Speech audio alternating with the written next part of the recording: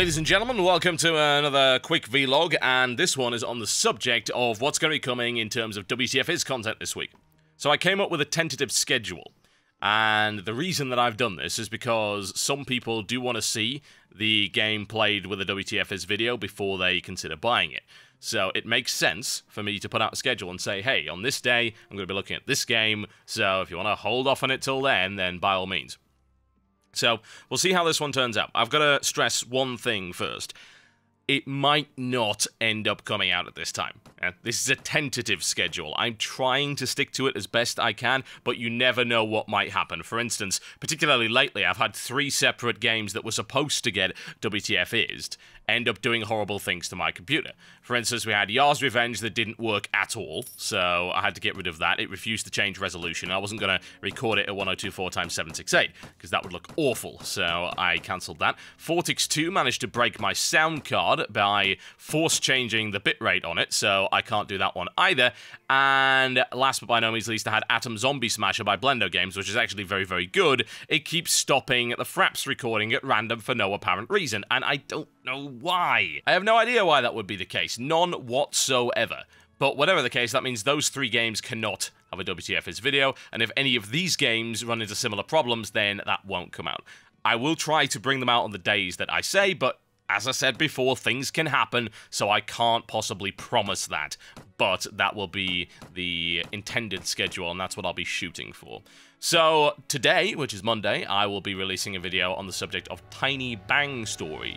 What is Tiny Bang Story, you might ask? Tiny Bang Story is a puzzle game. It's a mixture of different puzzles and it's just got a really promising preview from Rock Paper Shotgun, so I want to have a look at that. It's by Colibri Games, and while it is supposed to be a sort of casual game, I've been told it's actually got quite a lot of great depth and an amazing art style, so I'm going to be having a look at that one. Now on Tuesday, I'll be taking a look at the game Space Pirates and Zombies by MinMax Games, and this is a title that I've done a preview on. I actually got a world exclusive on this particular game. I got a alpha build for Cynical Brit, and I'll be having a look at the complete product and also, I should point out that I am voice acting in this game. I am the narrator. Now, needless to say, some people might say that I'm biased as a result of that, so I would recommend that you go and watch the alpha footage that I put out. Let's have a look at my channel for world exclusive Space Pirates and Zombies Parts 1 and 2. And this was well before I agreed to actually do any voice acting for them. So there you go, no bias on my part. And uh, Space Pirates and Zombies is a Star Control style freeformish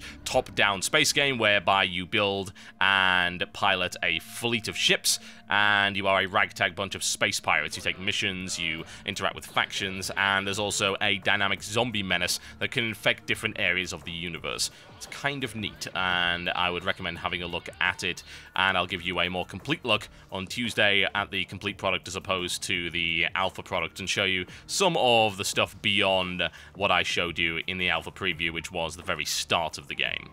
On Wednesday, I will be having a look at Garshasp, the Monster Slayer. This game is being developed and published by a company called Dead Mage, and it's an indie hack and slash spectacle fighter. It's a God of War style game.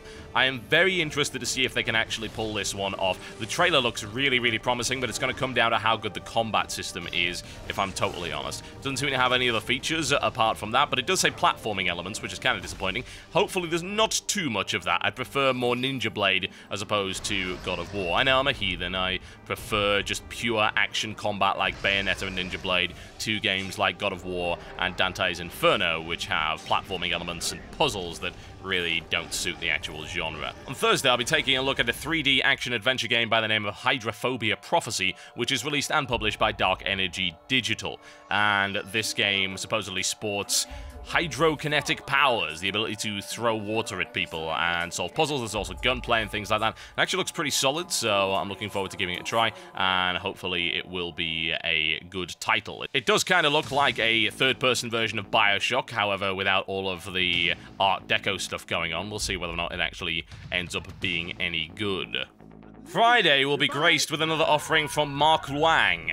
Yes, and it's called Revenge of the Bitch. I kid ye not. Taking one look at his website indicates that this game might not be entirely serious, and I'm looking forward to giving it a try. It's a single-player RPG for the PC with a completely bizarre sense of humor. This game's been out for a few months, but I feel it perhaps needs a little bit more attention. Or maybe not, we'll find out. I like the idea of it, it looks a little ridiculous to say the least, and the fact that he also brings live action into his trailers is worth a laugh in and of itself. Saturday, we'll be having a look at a game by the name of Detour. This is a title by Sandswept, and it's supposedly an exciting construction-based war game in which players pit their minds and their might against one another in order to safely guide a hapless delivery truck across a deadly battlefield. And it does have four-player co-op and competitive, as well as 27 single-player challenges and all manner of other things. I really don't know quite what's going on in this game. It looks like a tower defense crossed with an escort mission crossed with some kind of RTS title. It's a little bit weird, and I'll be looking forward to having a look at that one. And on Sunday, the grand finale for this particular set of WTF's videos will be Brink. That is the forthcoming shooter from Splash Damage and Bethesda, and it features lots of customization as well as single-player, multiplayer crossover, and objective-based gameplay, which is dynamically generated within the game. So it looks to me like a massively upgraded version of Enemy Territory Quake Wars, and also it features a very unique movement system whereby you can basically do parkour across the level, but you are, of course, fighting in first person. So that should give me a couple of days at least to look at that and get some of the unlocks before I go into it. That's not the kind of game I want to give you a complete first impressions of since it does require you to unlock certain items and things like that. Plus I quite like to spend some time customizing my character. I know for a fact if I did a video of that, I'll be on for about three sodding hours. I wonder if there's a top hat. Whatever the case, folks, that covers what I'm going to be showing you this week. Once again, it is tentative. There may be changes and things like that, and we'll see how it ends up turning out. Hopefully, I can stick to that schedule. One other thing I would like to make people aware of is that I'm going to be doing some tests as regards to metrics and the benefits of front-paging content. Now, those of you who are not aware of how a professional YouTube channel works, a lot of making a channel successful comes down to marketing. There's a lot of people that make great content and it just doesn't get watched. There are some people that make terrible content and it gets watched. That's just the way of it. And it comes down to how you market your channel. In this case, what I want to do is to ensure that we're getting the maximum number of new subscribers every time someone visits this channel by making sure that the video on the front page is something that appeals to a lot of people. Now, right now, my most viewed content is WTF Is. It's my most popular series, and it's getting about as many hits as Azeroth Daily, but I am noticing that when I put WTF Is content on the front page, I get a bigger increase of hits than I would from Azeroth Daily. And why would that be? Well, the simple answer is the people that subscribe already watch it, and they don't need to go to the front page. That and the fact that if somebody comes, doesn't play WoW, sees that WoW video, and then decides that the channel is not worth subscribing to, then then we lose a potential viewer. So any of you that do watch the Azeroth Daily content by looking at the front page every day, you don't need to do that. You can check your subscription box. You can also click the latest WoW content button, which is to the right-hand side of the front page video. You can look on Facebook, on the bulletin system, on Twitter, on cynicalbrit.com. It's available all sorts of places, so it should be really, really easy for you to keep an eye on. There's also a shows page for Azeroth Daily, which lists all the episodes in a chronological order. Aside from that, I think that's about it, folks. Aside from thank you for 100 million views. What we actually managed to hit today. That's a ridiculous number of views. I never thought we'd actually get that many, but hey, there you go. We've made it all the way to 100 million, so he is hoping for 200 as the next milestone. My name is Total Biscuit, and I will see you next time.